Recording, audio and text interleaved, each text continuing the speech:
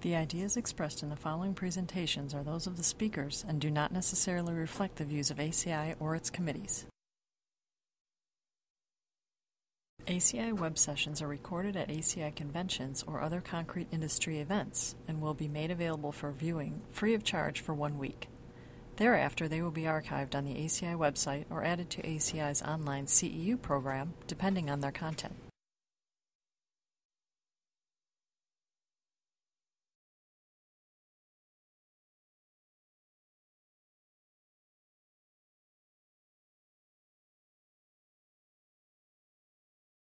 Okay, uh, it's my pleasure to uh, introduce the next speaker. Is uh, Professor Presuel Moreno from uh, Florida Atlantic University, who's uh, done uh, for some time research on corrosion and related topics such as um, electrical methods.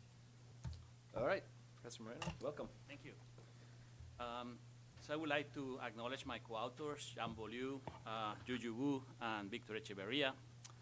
Um, so our main sponsor is the Florida Department of Transportation. and you might know, we have more than 5,000 bridges in Florida, so corrosion is an issue.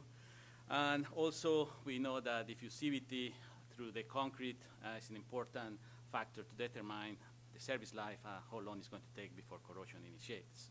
And also, based on past research, both uh, FDOT and other places, the resistivity has been correlated with the chloride, uh, chloride diffusivity in concrete. Um, although I'm going to be presenting uh, results on how the resistivity changes as a function of time, I also would like to introduce the idea that uh, the resistivity can be used to calculate the aging factor.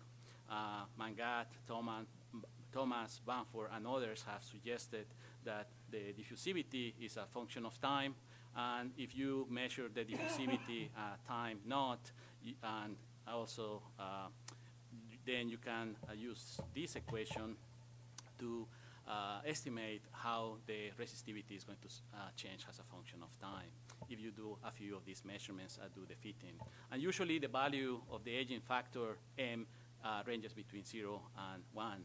And this is an example from research by Gorf. But if we were to normalize between the DT and D naught, we do that in linear scale. This is the, the, kind of results that you would get for five different values of n. And if you do this in log-log scale, you get uh, this type of results. Um, so some of the things that we want to uh, investigate is the uh, value of m, how this varies as you change the mixed proportionals, and how uh, it affects the different curing conditions. Uh, the effect of elevated temperature curing uh, is, has not been very well understood how it would affect the value of M. And the, usually the RCP test, as someone mentioned before, uh, it takes quite a bit of time before you can uh, obtain the results by traditional methods. Um, and also, it has been known for some time uh, the Nernst-Einstein equation that can connect the diffusivity and resistivity. And using the equation that I introduced in the previous slide, then we can correlate the resistivity as a function of time in a similar manner, just that in this case, we are going to have a value of m that has a negative uh, coefficient. Um, but if we rearrange this equation, then we can obtain m uh, by using this equation in here, by these two log-log uh, uh, values. And this aging effect on diffusivity of concrete can be therefore uh, uh, obtained by electrical resistivity.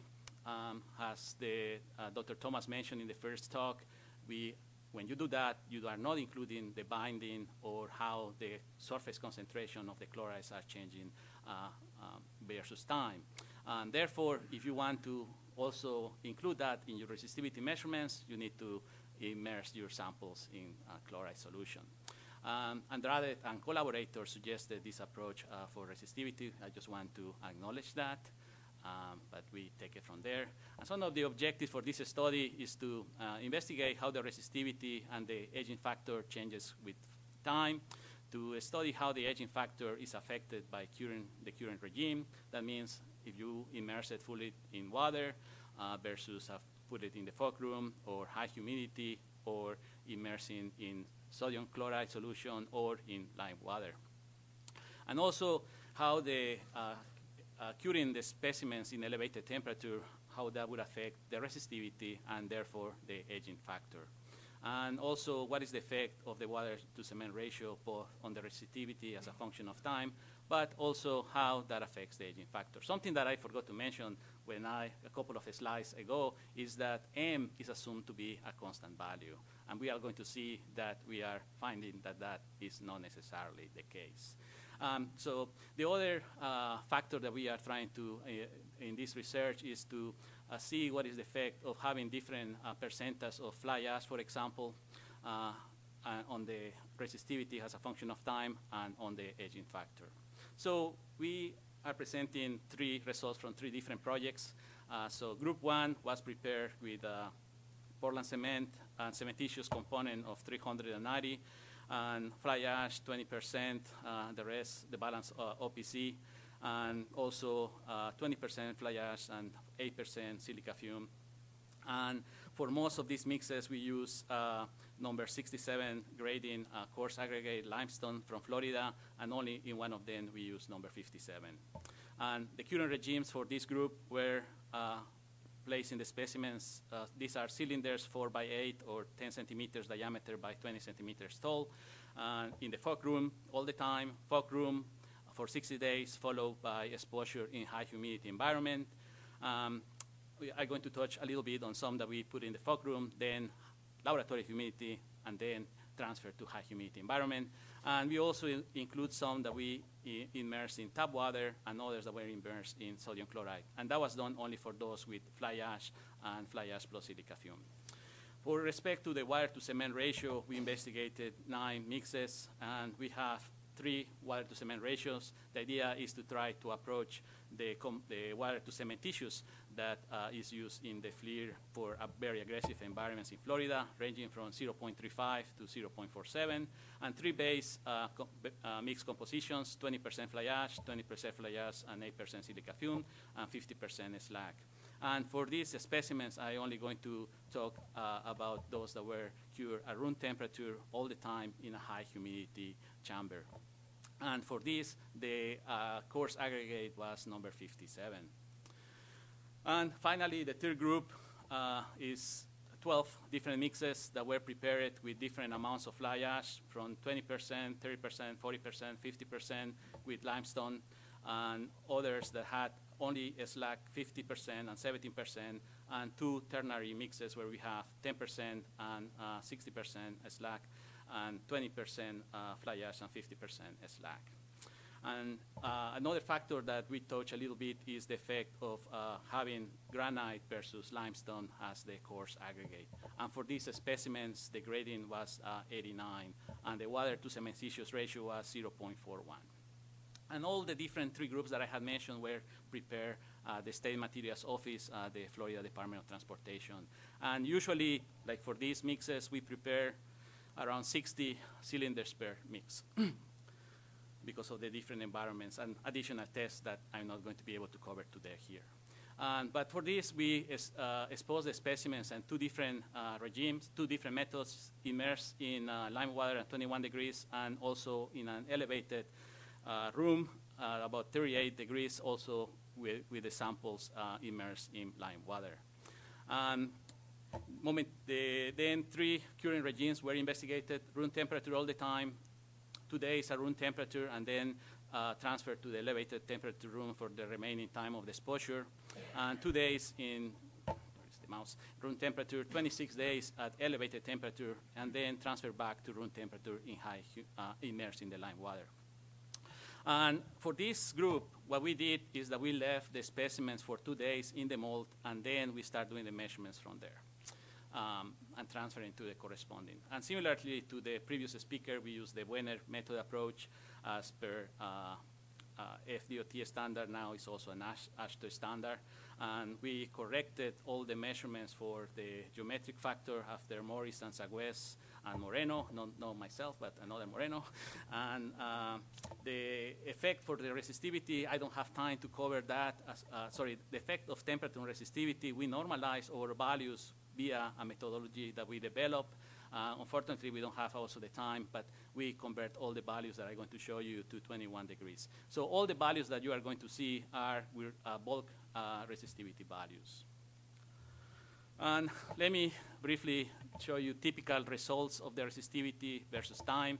In this axis, we have time up to 1,000 days. Oops, sorry. Um, and in this axis, we have uh, the resistivity in kilo ohms per meter for three current regimes, room temperature all the time, uh, two uh, days room temperature, 26 elevated temperature room, and the remaining at room temperature, and the black circles all the time in the elevated temperature room after two days. And you can see that indeed there is a difference on how is the, what is the maximum value that you achieve after prolonged exposure of time. Um, to compare, the axis here goes up to 90. In this case, for 50% fly ash, there is a significant increase, but you can see that the values are increasing at a slower rate at the early days, but then there is a couple of changes in the slope, one in here, another one in here, and then goes back to a, a less steep slope. And in this case, the maximum resistivity reached values close to 200 uh, kilo ohm centimeter in fully saturated conditions. And in the case for group one, we have three different environments. The triangles corresponds to fog room all the time, squares, 60 days fog room, then transfer to high humidity. You can see that maybe that's an effect of not being fully saturated, just barely less than full saturation. And finally, the uh, diamonds corresponds to those that were exposed to laboratory uh, humidity for some time, then put back into high humidity, and almost recover to the value that was observed for those that are in high humidity. Maybe a little bit of the uh, carbonation took place during that time. With respect to the silica fume, I'm presenting you a slightly different grouping here. We have fog room, and then uh, specimens that were in tap water all the time, and in here, uh, what happens when we put the specimens in 3.5% sodium chloride solution. So there is a reduction on the uh, resistivity when you include uh, exposure to sodium chloride. Again, similar to what the first speaker was referring earlier today. So we calculated based with the formulas that I introduced earlier, uh, what is the aging factor, and turns out that if you are not in full saturation, uh, even for OPC, there is a few days up to maybe 200 days where there is a slight transient, and then the value of the aging factor M remains pretty much constant, close to 0.2, whereas that was in the fog room all the time had a value of around 0.1. With respect with the fly ash, I'm showing you uh, several. I'm only going to talk a little bit about one of them in here. You can see that there is a monotonic decrease uh, for these black dust, those that were exposed in sodium chloride, for example, and eventually reach a value about 0.4 after 800 days. It doesn't change that much anymore. And similarly, for those with fly ash and silica fume, uh, there is a decay, but uh, in this case, there is a second, uh, a plateau that takes place about 80 days or so, remains for 100 days there, and then a continuation. We believe that this is mainly for the silica fume, and there is a delay on the fly ash reaction, and then uh, the, is dominated by the pozzolanic reaction that is taking place on the fly ash. And in this picture here on the right, what we have combined is the effect of the uh, change uh, of the aging factor as a function of time for uh, Portland cement, uh, fly ash, and uh, fly ash plus silica fume. And you can see that the uh, value for uh, OPC is about 0.1, for uh, fly ash plus silica fume is about 0.4, and for uh, the only fly ash 20% is about 0.5. But what do we do with this information? Well, what we decide, traditionally what people have suggested, sorry, is to use a constant value to calculate the, uh, try to predict what is the diffusivity, in this case, the resistivity at longer time. So if you use, and you only do your measurements during the first 50 days or so, then you are going to over predict what is the uh, resistivity at, uh, let's say, 400 days. And on the other hand, if you use the value that you measure at 800 days or so, uh, in that case, you are going to underpredict the resistivity for a good amount of time in there. And we observe the same for the fly ash, and this one I forgot to mention, I was referring to the fly ash plus silica fume, whereas in the case for the OPC, pretty much using a constant value is reasonable. So what we did, let's do an engineering approach, and let's define T naught T1, uh, T2, and bracket. And you can see if you do that, then uh, you have a good fit. But more importantly is that the M value, if you choose, for example, 200 days and all subsequent, subsequent measurements to calculate the uh, using T naught and M2, the resistivity doesn't change that much, which means then that diffusivity also is not going to change that much from that point on, okay? And, and we did something similar for uh, the one with fly ash, and this work has been recently published in uh, Construction and Building Materials. With respect with the water to cement ratio, this is what happens for uh, fly ash 20%, uh, the larger values, of course, corresponds to the lower, oh, sorry about that, to the lower water to cement ratio, the intermediate water to cement ratio, oops, ah, this mouse is not behaving. And here we have the highest water to cement ratio.